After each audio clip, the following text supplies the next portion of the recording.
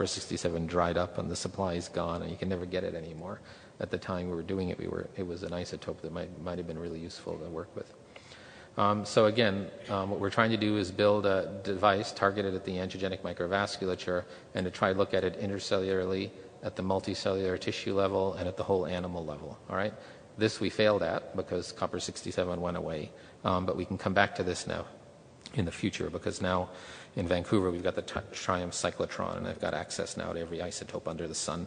Um, so there's there's a whole different array of things now we can do devices um, um that were different than before. Um, again, so we built a nano device. Uh, we did a, a, a, plate binding assay where you look at essentially have the receptor that you want to target and see are you binding to your receptor. And we're able to show that the targeted device binds very well to the receptor and we can compete it off, right, with free, R, free uh, RGD, right? And the positive control binds. The device binds a little better than the positive control.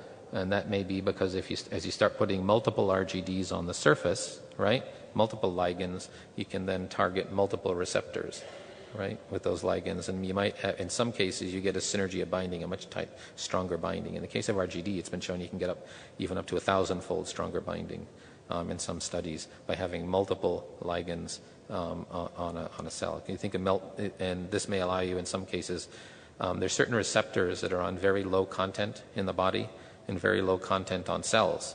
Um, but if you can bind to many of them, you may have a chance to stick and then be able to image or do other th- um, or give therapeutics when you couldn't do that before. Right. So, and then these this again is DAPI stained nuclei.